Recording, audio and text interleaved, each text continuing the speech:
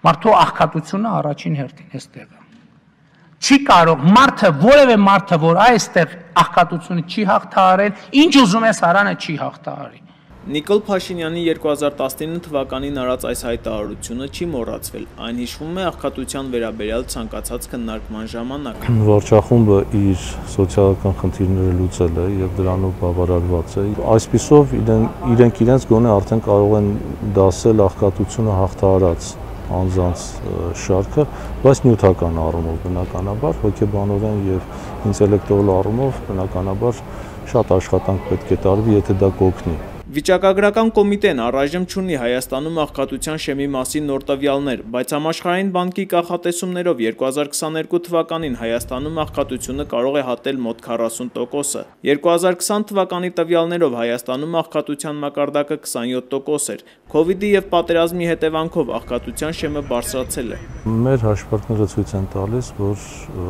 կեսից ավելին ազգաբնակչության աղքատ են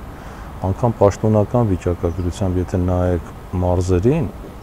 ապա Շիրակի մարզը որպես կանոն առաջատարն է ցավոք սրտի եւ այնտեղ 58-ից 60%-ի է աղքատությունը պաշտոնական թվերով։ Մենք ունենք բավական բարձր գնաճ։ Ինչպես գիտեք, բարձր տնտեսական աճից սովորաբար օգտվում է հասարակության մի խավը, իսկ բարձր գնաճը առաջինը հարվածում է այլ խավի, ավելի խոցելի խավին, հա, ավելի կոնկրետ եւ կառավարության աշխատանքը պետք է ուղղված լինի, որպեսզի տնտեսական օգուտը հավասար բաշխվի բոլորի միջև։ 2020 թվականի դրությամբ Հայաստանի գյուղական բնակավայրերում աղքատությունը կազմել է 33.6%, քաղաքային բնակավայրերում 22.5%, իսկ մայրաքաղաք Երևանում ավելի քիչ՝ 19.9%։ 2022 թվականի երկրորդ եռամսյակում միջին ամսական անվանական աշխատավարձը հանրապետությունում կազմել է 224291 դրամ։ Միջին աշխատավարձը դա པարզ վիճակագրական աճպարարություն է։ Հայաստանում այս տարի գրանցված տնտեսական երկնիշ աճը դեռ ցուցանիշ չէ կյանքի բարելավման։ Ամսական որքան գումար է անհրաժեշտ նորմալ ապրելու համար մեկ անձին ձեզ։ Ներկայիս գումարը այդքան չի բավարարում։ Ինձ թվում է շատ 500-ից 800 երևի։ Ինչքան որ ինձ հարկավոր է, այդքան ստանում եմ։ Թոշակ աշխատավարձ բավականացնում է ձեզ։ Հարկաս։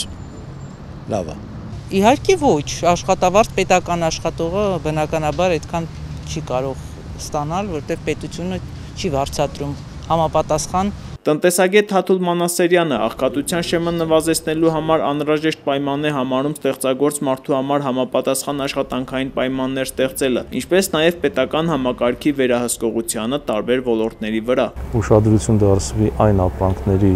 գների ձևավորմանը, որոնք Հայաստանի Հանրապետությունում են արտադրվում։ Իսկ ինչ պետք է անի քաղաքացին։ Քաղաքացին կարծում պետք է լինի ավելի պահանջկոտ, այսինքն թույլ չտրվի, որպեսզի դիլետանտները տնորինեն մարդկանց ճակատագիրը եւ հասցնեն աղետալի իրավիճակի, որի անունը ոչ թե աղքատություն է, այլ թշվառություն։ Ամեկ պլյուս հեռուստաընկերություն Region 5 պլյուսի համար